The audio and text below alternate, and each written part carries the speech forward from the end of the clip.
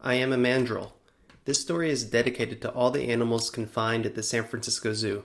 May they and all the animals in the zoos across the world gain their freedom one day soon. I am a mandrill. I have hairy arms and hairy legs, and I live here at the zoo in San Francisco. The San Francisco Zoo is located beside the beach. I can taste the salty ocean, and I can hear the waves crashing along the shore at night. I have never seen the ocean, but when I was a child, my mother said that the ocean is like the blue sky except with water which is held down upon the earth, and that all the endless waves flow into sand like continuous ripples similar to those that appear in the puddles of my enclosure. My mother saw the ocean when people took her from the jungles of Togo, where there were waterfalls, to the San Diego Zoo, where I was born. I remember my mom saying that because she was captured for the purpose of being kept in captivity and not for the purpose of being killed for bushmeat, I was lucky. And that's what my name is, Lucky. When the summer sun is up in the sky, like it is now, many people come to see me and the other animals that live at the zoo, which is open every day. There are three other mandrills in this enclosure, and the visitors will watch us do anything.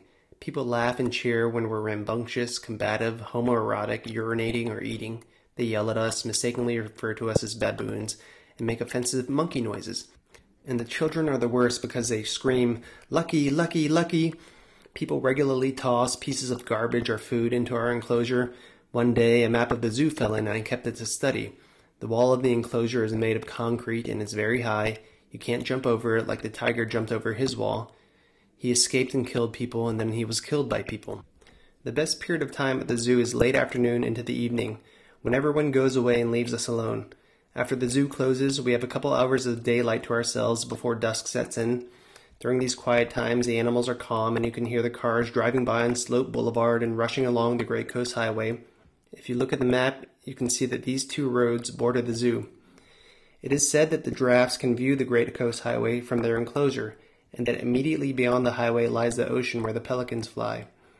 When night falls, I sit and I close my eyes and I either think about things or I don't think about anything. The sounds of the cars become waterfalls, and I listen to the crashing ocean waves. Sometimes I start to rise up, and through my closed eyes I can see the stars above me and the map of the zoo which has expanded enormously in proportion below me. From such heights I look west.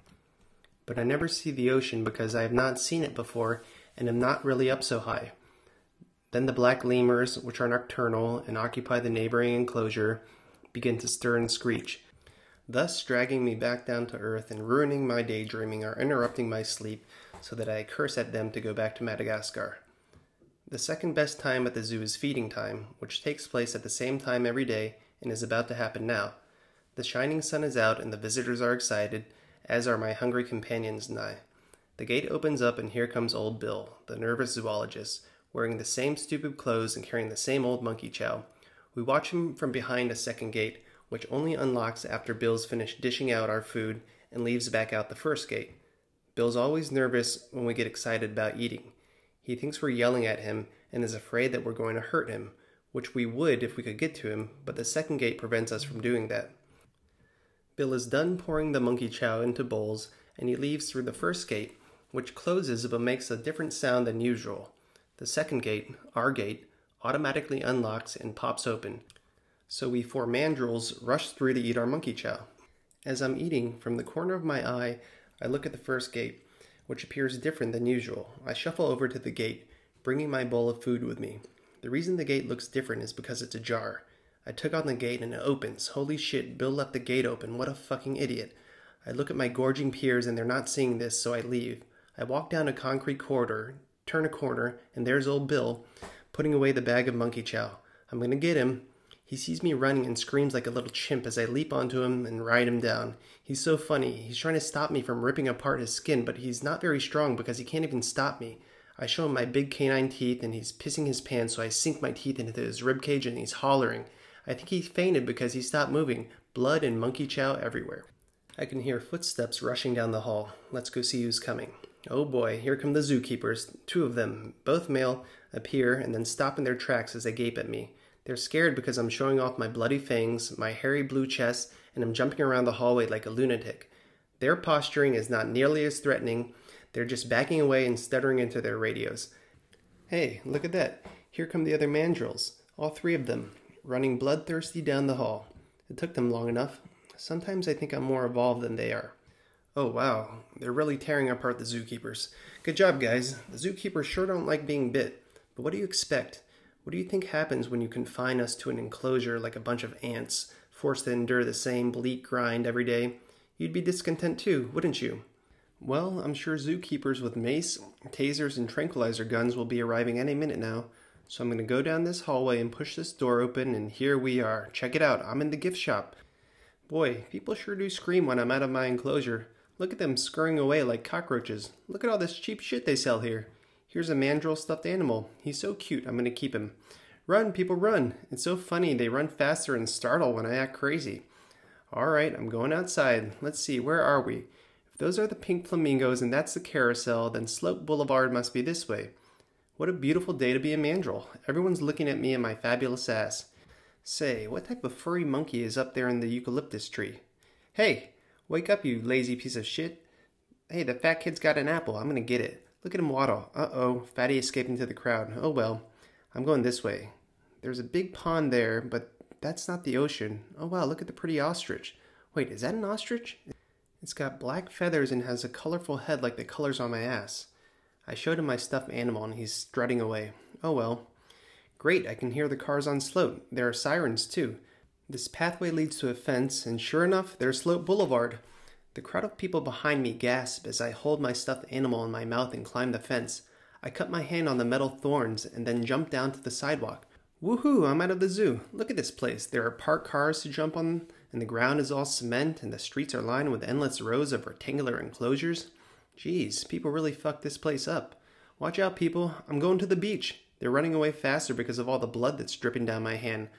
I step off the sidewalk and onto the road where speeding cars swerve out of my way. I look down Sloat Boulevard and stop walking, for I see the ocean in the distance. There's so much water and it's all white and blue. How many bathtubs do you think you could fill with all that water? A million? No, probably not a million. Good God, what have I been doing with my life? I accidentally drop my stuffed animal and pick him up and walk down the road. I lurch past people in their cars and am transfixed by all the bright water out there. I look at the people around me and see that they don't care about the ocean. The cars are speeding down the Great Coast Highway and a cool wind blows across the coast. Behind me, there are cars with sirens and lights. Before me, cars are moving dangerously fast. But then they start to slow down and the people inside stare at me. I'm going across the Great Coast Highway and I can't see the ocean anymore because of the sand dunes before me. I climb up the sand dunes and surprise a group of people lounging amongst the beach grass. The people jump and back away. I'm closer than I have ever been to the ocean. The waves roll in and flow out again and again. The pelicans are flying above. I keep walking along the warm sand and my hand hurts, so I sit down near the edge of the lapping water. I can feel the people gathering in back and watching me. Why is everyone so afraid of me because I'm different? Don't they know that they're animals too? I lick the salty blood from my hand as I watch the marvelous waves. The ocean is just like my mom said, and as beautiful as it is, I know it's not my home. So I wonder where my home is, and if I'll ever get there. I look down at my stuffed animal, and he's so cute. I tell him, You know, you're lucky too, because I took you out of that gift shop, and now you don't have to stay trapped in there anymore. Now you get to be my friend, and you can see the ocean. Look, I can hear more people gathering behind me now. There's some commotion and the stern voices of men telling other people to back away because he's extremely dangerous. I hear some people cry out in protest, and then several horrible blasts ring out. I'm in pain and warm blood flows across my body. It hurts. I slump down and the ocean and horizon turn sideways. The waves persist as I hold my stuffed animal. The world fades from light to dark, and I hope that I get to go home now.